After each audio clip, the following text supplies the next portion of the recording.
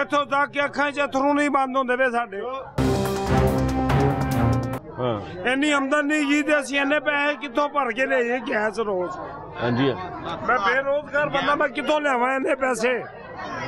ਦੱਸੋ ਜਾਂ ਉਂਝ ਸਾਨੂੰ ਇਹ ਜਿਹੜੇ ਮਾੜੇ ਬੰਦੇ ਸਾਨੂੰ ਉਂਝ ਮਾਰ ਦਿਓ।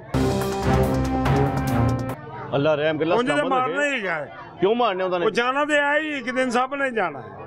ਭਾਈ ਸਾਹਿਬ ਜੀ ਅਸੀਂ ਮਰ ਗਏ ਨਾ ਸਾਰੇ। ਸੀਅਤ ਦੇ ਰਹੇ ਨੇ ਦਫ਼ਤਰ ਜਾਂਦੇ ਆ ਜੀ। ਇਹ ਹੁਣੇ ਕਰ ਰਹੇ ਆ ਹੁਣੇ ਆ ਰਹੇ ਆ।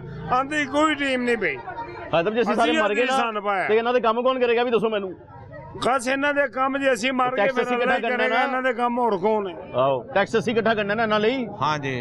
ਦੱਸੋ ਕੀ ਹੋਇਆ ਜੀ ਸਾਹਿਬ? ਆ ਦੇਖੋ 7000 ਬਿੱਲ ਆਇਆ। ਹਾਂ। 7000 ਦਾ ਬਿੱਲ ਹੈ ਤੇ ਗੈਸ ਨਹੀਂ ਆ ਰਹੀ ਸਿਲੰਡਰਾਂ 'ਚ ਗੈਸ ਲੈ ਕੇ ਅਸੀਂ ਆ ਰਹੇ ਆ।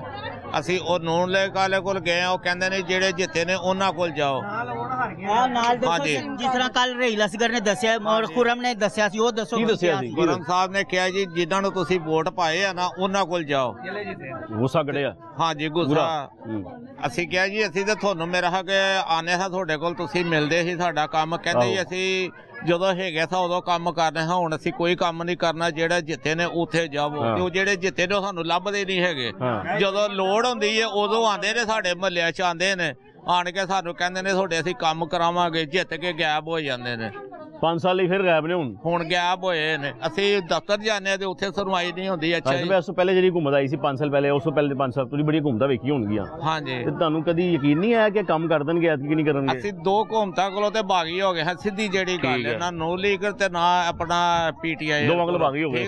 ਅਸੀਂ, ਐਰ ਕੀ ਤਰੀਕੇ ਲੱਭੇ ਵਾਲਿਆਂ ਨੂੰ ਵੋਟ ਪਾਏ ਨੇ। ਉਹ ਹਾਰ ਗਏ ਨੇ ਜਿਹੜਾ ਇੱਥੇ ਖੜਾ ਸੀ ਨਾ ਉਹ ਹਾਰ ਗਿਆ ਉਹ ਕਹਿੰਦਾ। ਜੀ ਮੈਂ ਤੇ ਹਾਰ ਗਿਆ ਠੀਕ ਜਿਹੜਾ। ਜਿੱਤ ਕੇ ਗਿਆ ਉਹ ਸਾਨੂੰ ਲੱਭਦਾ ਹੀ ਨਹੀਂ ਪਿਆ ਤੇ ਤੁਸੀਂ ਜਿਨ੍ਹਾਂ ਕੋਲ ਦਿਲ ਬਰਦਾਸ਼ਤ ਹੋਏ ਸੋ ਕਿਉਂ ਹੋਏ ਸੋ ਵਜ੍ਹਾ ਕੀ ਬਣੀ ਸੀ ਦੋਵੇਂ ਇਹੋ ਘੁੰਮਦਾ ਹੀ ਘੁੰਮਤਾਂ ਕੋਲ ਹੋਏ ਨਾ ਕੋਈ ਇੱਥੇ ਗੈਸ ਬੱਤੀ ਪਾਣੀ ਮਹਿੰਗਾਈ ਇੰਨੀ ਹੁੰਦੀ ਜਾ ਰਹੀ ਹੈ। ਕੰਮ ਕੋਈ ਨਹੀਂ ਬੇਰੋਜ਼ਗਾਰੀ। ਬੇਰੋਜ਼ਗਾਰੀ ਜ਼ਿਆਦਾ। ਕੰਮ ਕੋਈ ਨਹੀਂ ਹੋ